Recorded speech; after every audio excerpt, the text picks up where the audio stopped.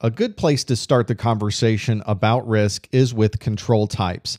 The National Institute of Standards and Technology is a federal organization in the United States that comes up with standards that are used not only for the federal government, but also nationally and even worldwide.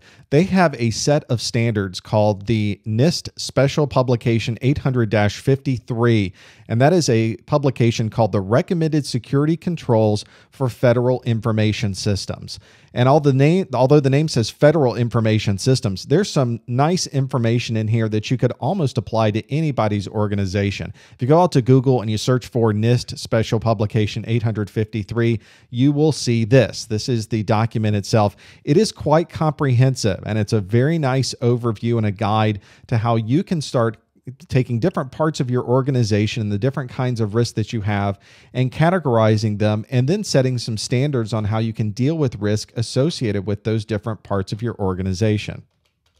Inside of this document are what they call three classes and 18 different families that are categorized in these three classes. The first class is one called technical control types. So you can think of this as things like access control, how you authenticate onto the different resources that are on your network or on your computer. How do you protect your systems? How do you protect your communications? All of those technical aspects of control are related in that particular technical class. The second class is the management class. This is a class that talks about how you manage these different aspects of risk in your environment. Things like how you do security assessments, how you provide authorization to different resources in your network or in your environment, how you do planning, how you do risk assessment. Those are extremely important things when you're dealing with security. Security isn't just configuring a firewall properly, it's also setting the proper policies and procedures to follow so that the firewall can be configured properly.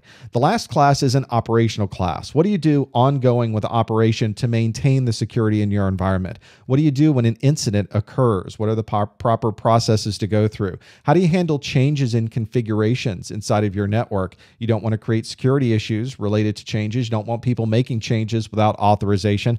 How do you protect things physically? Do you lock doors? Do you have key cards? Do you how do you lock down a, a laptop computer that's very mobile? So all that's in more of the operational mode of things. And so all three of these classes all work together. You really can't look at just one of them. You have to take into account your technical controls, your management controls, and the operational controls as well. Here's a chart that really does summarize these classes, families, and what they call identifiers for each one of these. It would not be a federal document if we didn't some way have a list of abbreviations associated with these. For the purposes of the Security Plus exam, you don't have to remember all the identifiers, but it's useful to know these different classes the technical, the operational, and the management and have an understanding of why these different families are associated with these classes. And if you start looking at them, they make a lot of sense. Technical, yep, that's access control. That's configuring firewalls and making sure your access control lists are set properly. Operationally, you want to have awareness and training. So make sure you're aware of what some of these different families are and these different different classes, get an understanding of what these control types are. And if you have time, read through the document. It's really a very nice overview, quite comprehensive, in fact, of all of these different families and classes and how our federal government uses these classes to control and manage their security. You could probably take some of the things they're doing and use in your environment as well.